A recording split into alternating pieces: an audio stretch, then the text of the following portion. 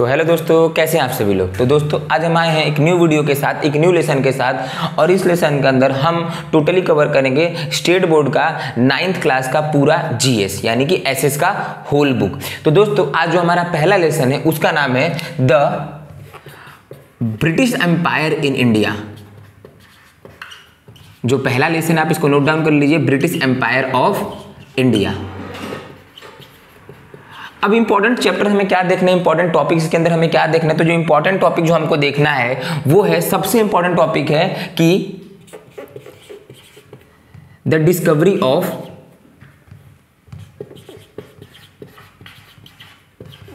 of sea route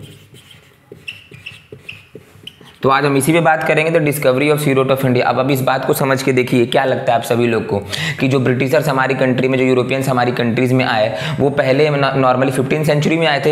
ये बात हम सभी को पता है कि पोर्चुगीज जो थे, वो पहले थे हमारी कंट्री में जो आए थे, और वास्को डी गामा ने एक्चुअली सी रूट को फाउंड किया था। तो वो सी रूट को किसने फाउंड किया था? वास्को डा गामा लेकिन लॉजिकली अगर देखा जाए तो वास्को डा गामा को सी रूट फाइंड करने की आवश्यकता क्या पड़ी? बिकॉज़ वास्को डा गामा से पहले भी जो यूरोपियंस थे, हमारी हमारी कंट्री का अच्छा खासा व्यापार कर रहे थे लैंड रूट से व्यापार कर रहे थे। ऐसा क्या उनको आवश्यकता पड़ा? ऐसा क्या चीज़ें उनको ज़रूरत पड़ी कि उनको नॉर्मली वाटर वे को, यानी कि सी रूट को फाइंड करना पड़ा? तो समझिए इस बात को थोड़ा फ्लैशबैक में जाते हैं कि आखिरकार what was the reason behind the discovering of sea route सबसे इंपॉर्टेंट रीजन कि फिफ्टीन सिक्सटीन सेंचुरी में क्या था कि यूरोप के अंदर डार्क एज था। ना what do mean by dark age dark age का ये मतलब था कि वहाँ पे जो अथॉरिटी थी, पूरी तरीके से चर्च की अथॉरिटी चर्च की अथॉरिटी का मतलब आप ये समझिए कि जो भी चर्च बोलेंगे, जो भी पादरी या जो भी नॉर्मली फादर बोलेंगे, वही करना पड़ेगा। सिंपल सी बात आप समझिए। मैं आपको सिंपल से उदाहरण देता हूँ। मुझे इस मूवी का नाम तो याद नहीं है, लेकिन डार्क एज पे बहुत अच्छी मूवी बनी। उसके अंदर ये होता है कि मान लीजिए डार्क एज के समय,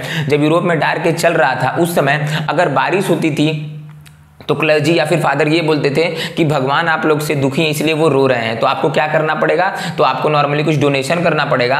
और फादर्स ने ये बता के रखा था, जो क्लर्जी थे, उन्होंने ये बता के रखा था कि we have the direct contact with God even आप इस बात को यकीन करके देख लो कि फिफ्टीन सिक्सटीन सेंचुरी में यूरोप के अंदर जो किंग था, वो भी विदाउट आस्किंग दी फादर बिना फादर से पूछे, बिना क्लर्जी से पूछे, कोई भी डिसीज़न नहीं ले सकता था। मतलब आप समझ सकते हो कि जो कंप्लीट अथॉरिटी थी, चाहे सोशल हो, चाहे इकोनॉमिकल हो, चाहे पॉलिटिकल हो, वो पूरी तरीके से चर्च के अंदर कॉन्सेंट्रेटेड था। लेकिन सिंपल सी बात है कि बहुत लोगों ने क्वेश्चन करना स्टार्ट कर दिया सिक्सटीन सेवनटीन सेंचुरी में लोगों ने क्वेश्चन करना स्टार्ट कर दिया कि ऐसा क्यों है? Even you won't believe me clergies ने ये बोल के रखा था यूरोप के अंदर कि जो दुनिया है वो गोल नहीं है, दुनिया जो है वो फ्लैट है। फ्लैट का मतलब ये है कि मान लीजिए टेबल है, ठीक है? अगर आप इस तरफ़ जाएँगे तो आप नीचे गिर जाएँगे। This kind of actually reason was given by the clergy और चर्चेज तो भाई कुछ लोग होते हैं हमारी अलग अलग कंट्री में, यूरोप में कुछ लोग ऐसे थे जिनको ये मन था कि आओ कुछ तूफानी करते हैं। तो तूफानी करने का कारण यहाँ पे क्या था? सिंपल सी बात समझते हैं। तो तूफानी करने का कारण यहाँ पे क्या था कि वास्को डिगामा जो नॉर्मली पोर्चुगल का था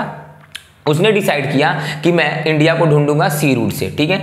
तो जो वास्को डिगामा भाई साहब थे ना, वो निकल गए कहाँ से? पोर्चुगल से इंडिया को ढूँढने के लिए। ये जो चीज़ें हो रही हैं, बहुत बैक टू बैक प्रोसेस हो रहा है। इसमें बहुत टाइम लगा था। जैसे आपको लगेगा कि भाई साहब वास्को डिगामा फोर्टीन में इंडिया में आया और सडनली उसने इंडिया को ढूंढ लिया। ऐसा कुछ नहीं आया था। वास्को डिगामा से पहले भी एक भाई साहब थे, जिनका नाम था क्रिस्टोफर कोलम्बस वो भी इंडिया को ढूँढने निकले थे। लेकिन वो कहाँ चले गए? वेस्ट इंडीज जब वो कैरेबियन आइलैंड पे पहुँचे ना, उनको लगा कि मैं इंडिया पहुँच गया। और उन्होंने उन्होंने उस आइलैंड्स का नाम क्या रख दिया? कैरेबियन आइलैंड उसके बाद वो पहुँच गए अमेरिका। अमेरिका पहुँचते उन्होंने नॉर्मली जब कोस्टल एरिया पे वो उतरे तो कोस्टल एरिया पे उतरते ही नॉर्मली उनका स्वागत कुछ रेड लोगों ने किया। मतलब वो रेड रेड स्किन के थे। वास्तु सॉरी क्रिस्टोफर कोलंबस भाई साहब को लगा कि ये लोग जो है वो इंडियंस है। और वो स्किन उनका जो था वो रेड था, ठीक है? तो इसलिए उन, उन्होंने उनका नाम दे दिया रेड इंडियन इसलिए आज भी अमेरिका के लोगों को रेड इंडियन बोला जाता है। And they were the real American जो आज के जो अमेरिकन आप देख रहे हो ना ये कोई रियल वियल नहीं है ठीक है? ये नॉर्मली यहाँ सेटल्ड हुए अमेरिका में और अमेरिका में रह रहे हैं। लेकिन हमें ये समझना है कि आखिरकार जब अच्छा खासा लैंड से इंग्लैंड का और इंडिया का ट्रेड हो रहा था यूरोप का और इंडिया का ट्रेड हो रहा था तो चेंज करने की आवश्यकता क्या पड़ी? What was the reason behind the route of India simple सा रीजन है कि आप एक बात को समझ के देख लीजिए कि forty fourteen sorry fourteen twelve में, चौदह सौ बारह में क्या होता है कि the we can say the fall down of Constantinople कौन गिर जाता है? कॉन्स्टेंटिनोपल जो रहता है वो गिर जाता है। कॉन्स्टेंटिनोपल को नॉर्मली कौन फॉल डाउन का कौन डिफीट कर देता है? तो कॉन्स्टेंटिनोपल को डिफीट कर देते हैं नॉर्मली टर्क्स लोग। कौन लोग? टर्क्स लोग। अब जो तुर्की के जो एम्पायर्स होते हैं, जो टर्क्स लोग होते हैं, इन्होंने क्या कर दिया था? कॉन्स्टेंटिनोपल को डिफीट कर दिया था। कॉन्स्टेंटिनोपल क्या था? तो कॉन्स्टेंटिनोपल जो था, वो क्रिश्चियन एम्पायर था। अब जब क्रिश्चियन एम्पायर है तो यूरोपियन लोग क्रिश्चियन है। उनको वो नॉर्मली मदद करेगा या नहीं करेगा? तो करेगा। यहाँ पे जैसे ही कॉन्स्टेंटिनोपल फॉल डाउन होता